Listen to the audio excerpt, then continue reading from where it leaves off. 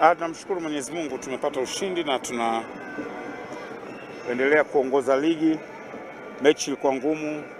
Mbeya Kwanza ni timu nzuri na wanacheza kwa spirit kubwa. Second half walikuwa bora kwa eneo lao, lakini sisi ni timu yenye uzoefu zaidi na tumeweza kupata points tatu. Tunamshukuru Mwenyezi Mungu, tunaangalia next game. Next game ndio hiyo unacheza dhidi ya Simba, labda salamu hizi zinazungumzwaje zaidi? Dakika 90 zitazungumza. Yanga haina pressure kwa ajili ya mchezo huo. Tumeshinda last game, tuko juu ya table, tunacheza vizuri so far. Kwa sisi hatutazungumza lolote. Kauli yetu ya Yanga, subiri dakika 90 za tarehe 11 inshallah. Pressure kwa wao, sisi hatuna pressure, tuko juu, tumewafunga mechi iliyokwisha.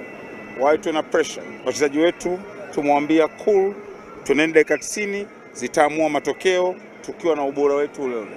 Ni pia uh, majeruhi ambao wanaongezeka, huoni kama ita- itahofia kuna mchezo dhidi ya Simba? Nasema hivi, sisi mechi ya Simba inshallah, wachezaji wetu wale ambao wako majeruhi watakuwa sawa. Tuko na majeruhi leo, Khalid atarudi kwenye mchezo ujao. Bangala amemaliza kadi, anakuwepo kwenye mchezo ujao. Kwa hiyo narudia, sisi tusubiri 90 minutes za mechi inayofuata.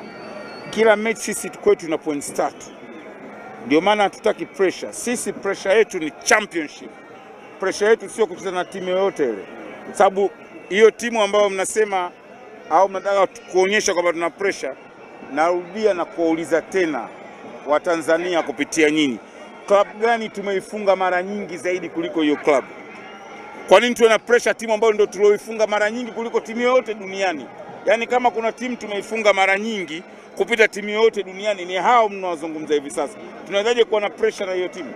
Yaani wewe tuchakufunga zaidi ya mara milioni, tunakuwaje na pressure? Yanga ipi unaizungumzia? Yanga ipi hii au Yanga gani? Yanga ipi? Dada Deki.